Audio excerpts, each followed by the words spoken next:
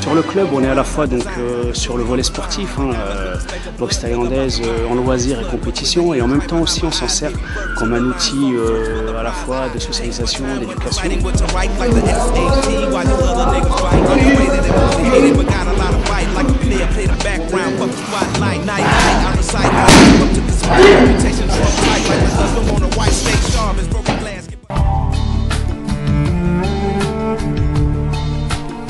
Voilà, l'esprit au niveau du club, c'est vraiment, bah voilà, on est tous des, on se respecte tous, hein, ça c'est la valeur principale, la première valeur. Ensuite, c'est le, vraiment le travail, mais dans la bonne humeur.